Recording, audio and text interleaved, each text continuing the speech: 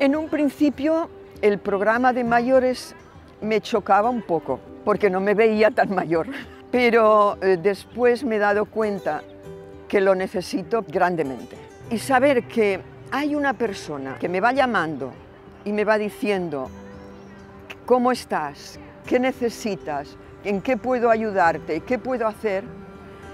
Eso para mí es una tranquilidad enorme. Aunque es cierto que apoyo a la vivienda y mayores no son exactamente el mismo servicio, se enfocan de la misma manera y eso, en el caso de Marcos y Celia, que su madre tenga un servicio de este tipo en que le da apoyo en distintas áreas, acompañamientos médicos, gestiones administrativas, ha facilitado que Marcos normalice recibir esos apoyos.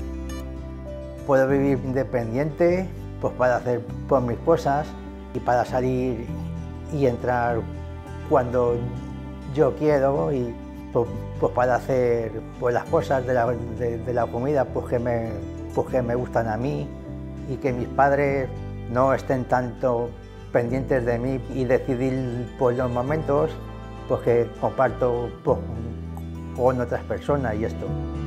Marcos lleva como unos ocho años viviendo de forma independiente, compartiendo piso y es una diferencia bastante grande con la convivencia que tenía con sus padres, puesto que le da mayor independencia, le da capacidad de decisión y también le refuerza su autoestima a la hora de, sentirse útil e independiente.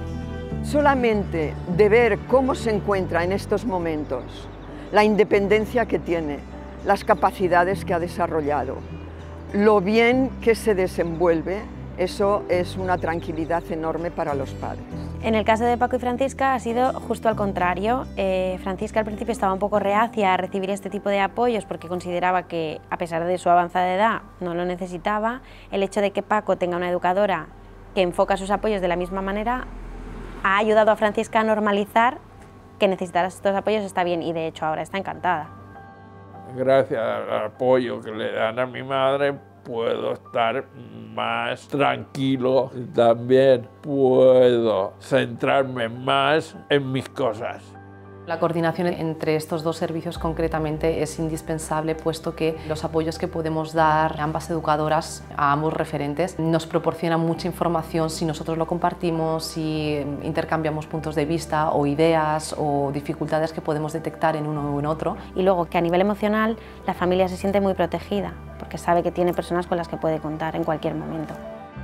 Me fa sentir feliz y que estoy segura el hecho de que este tipo de servicios, tanto apoyo a la vivienda como mayores, potencie que las personas se mantengan de forma autónoma durante más tiempo en sus domicilios, ayuda a nivel de administración, porque no hay recursos residenciales para todas las personas mayores. Entonces, este tipo de servicios da apoyo para que esas personas no necesiten recursos asistenciales y puedan mantenerse de forma autónoma en su casa durante mucho más tiempo que si no tuviesen ese apoyo.